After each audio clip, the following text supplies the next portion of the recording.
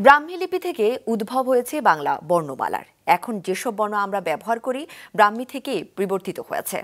জ, র র, অন্তস্থ, অ, যেমন নতুন বর্ণ, তেমনি যুক্ত খ, লি, দীর্ঘ লি, দীর্ঘ রিকে বাদ দেওয়া হয়েছে। এখন মূর্ধন্য, চন্দ্রবিন্দু, রি সহ কয়েকটি বর্ণ বাদ দেওয়ার কথাও উঠেছে। তবে বিশেষজ্ঞরা বলছেন, এতে বাংলা ভাষার সৌন্দর্য ক্ষুণ্ণ হবে। নিয়াজ মোর্শেদের রিপোর্ট। কানন লিখতে দন্তীয় ন নাকি মূর্ধন্য দন্তীয় স দিয়ে সব লিখলে কি অর্থ আর তালেব্য বস দিয়ে লিখলেই বা কি বোঝাবে? সুখী শব্দে রস্যই নাকি দীর্ঘই? পরীক্ষার খাতায় লিখতে বসে এমন ভাবনাতেই চলে যায় অনেকটা সময়। বাংলা ভাষায় দুটি ন, তিনটি স চন্দ্রবিন্দু, রি, অন্তস্থ অ, রস্যই, দীর্ঘই, এর কারণে বিভ্রান্তিতে পড়েন শিক্ষার্থীরা। অনেক সময় সজায় লিখি আবার এরকম করে মাঝে মাঝে ভুল হয়। কনফিউজিং হয় অনেক সময় যে আপনার কোন শটা বসবে এখানে। বর্ণমালার ইতিহাস ঘাটলে দেখা যায় আঠারোশো সালে মদনমোহন তর্কালঙ্কার শিশু শিক্ষা বই প্রকাশ করেন। তাতে স্বরবর্ণ ছিল ষোলোটি আর ব্যঞ্জনবর্ণ চৌত্রিশটি। অনেশ্বর এবং বিসর্গ স্বরবর্ণে স্থান পেয়েছিল। ঈশ্বরচন্দ্র বিদ্যাসাগর তার বর্ণ পরিচয় বইয়ে দীর্ঘলি নামে একটি বর্ণ বাদ দেন। অনেশ্বর এবং বিসর্গকে নিয়ে যান ব্যঞ্জন বর্ণে।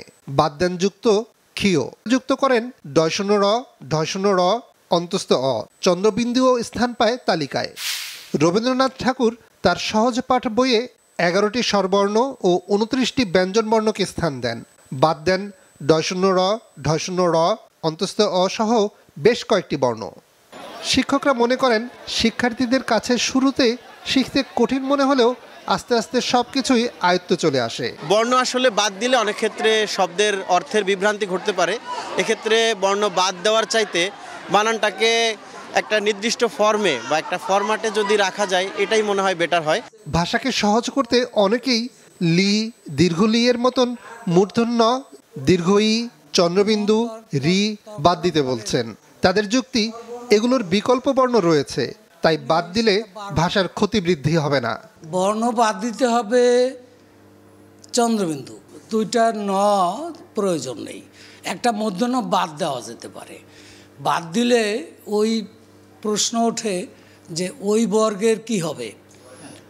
ওই বর্গে তো পাঁচটা বর্ণ মিলে। এই বর্গ ঠিক রাখার জন্য ল আনা যেতে পারে। ঢাকা বিশ্ববিদ্যালয়ে বাংলা বিভাগের অধ্যাপক ডক্টর তারিক মঞ্জুর মনে করেন বর্ণ কমিয়ে ফেলা বাংলা ভাষার বৈশিষ্ট্যের বিপরীত। বর্ণগুলো তো আকস্মিকভাবে জন্ম নেয় না। ভাষার দীর্ঘদিনের প্রয়োগে সেগুলো রয়ে যায়। এখন রিকারের কাজ রফলা দিয়ে করা যেতে পারে এমনকি আমাদের ইংরেজির মতো আমরা চাইলে বর্ণ সংকোচন করে খুব সীমিতও করতে পারি কিন্তু সেটা বাংলা ভাষার প্রবণতার সাথে বাংলা ভাষার ধরনের সাথে সেগুলো আসলে যায় না।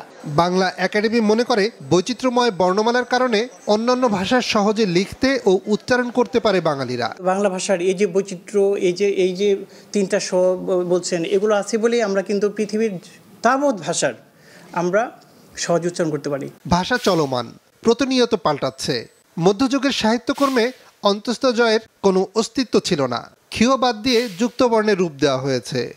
নতুন করে বর্ণ সংস্কারের যে দাবি উঠেছে, তার বাস্তবায়ন হবে কিনা, তা সময়ই বলে দেবে। নিয়াজ মোর্শেদ, মাছরাঙা সংবাদ, ঢাকা।